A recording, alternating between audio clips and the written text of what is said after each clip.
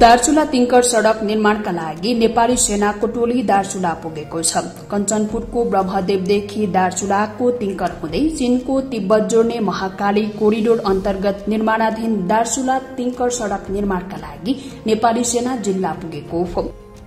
दुर्गादल गुल्म दार्चुलाका गुल्मपति सेनानी विक्रमदेव थापाका अनुसार चालू आर्थिक वर्षबाट दार्चुला तिङ्कर सड़कको निर्माण गर्ने जिम्मेवारी पाएसँगै नयाँ आर्थिक वर्षको पहिलो महिनामै सेनाको टोली कार्यस्थलतर्फ लागेको छ।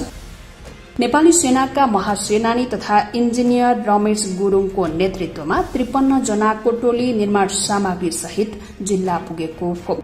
नेपाली सेनाका आठवटा गाड़ीमा निर्माण सामग्री सहित सेनाको टोली सदरमुकाम खलंगा आइपुगेको छ।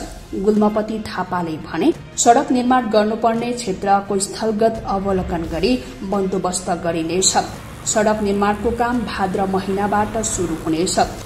गएको वैशाख चौध गतेको नेपाल सरकार मन्त्री परिषदको बैठकले ब्यास गाउँपालिका दुई घाँटी बगरदेखि टिङ्करसम्म सतासी किलोमिटर सड़क निर्माणको जिम्मा दिने निर्णय गरेको थियो। सेनालाई निर्माणको जिम्मेवारी प्राप्त कुल सतासी किलोमिटर क्षेत्रको स्थलगत निरीक्षण तथा क्याम्प राख्ने स्थलको निरीक्षणपछि सदरमुकाम खलंगाबाट सेनाको टोली कार्यस्थलतर्फ जाने बताइएको छ। इन्जिनियर गुरूङ नेतृत्वले सेनाको क्याम्प बस्ने ठाउँ र भूगोलको विस्तृत रिपोर्ट पेश गरेपछि सेना निर्माण कार्यमा खटिने गुल्मपति थापाको भनाइ छ।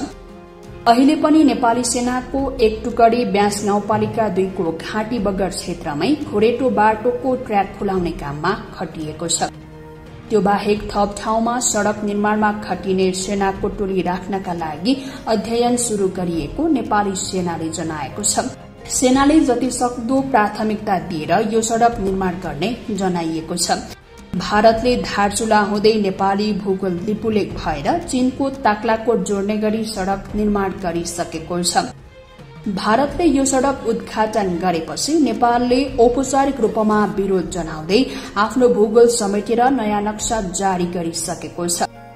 नेपाल सरकारले अहिले आएर सड़क निर्माणमा तीव्रता दिन नेपाली सेना परिचालन गर्न लागेको हो। यो सड़क आर्थिक वर्ष दुई हजार पैंसठी छैसठीबाटै निर्माण शुरू गरिएको भए पनि हालसम्म पूरा हुन सकेको छैन। निर्माण शुरू भएको बाह्र वर्ष बितिसक्दा पनि यसअघि दार्चुला तिङ्कर सड़क आयोजनाले चालिस किलोमिटर सड़कको मात्रै ट्र्याक खुलाएको छ।